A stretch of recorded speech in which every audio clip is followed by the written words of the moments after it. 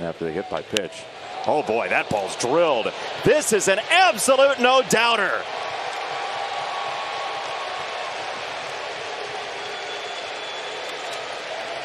Parker Meadows with that sound just became a garage band by himself here in Seattle.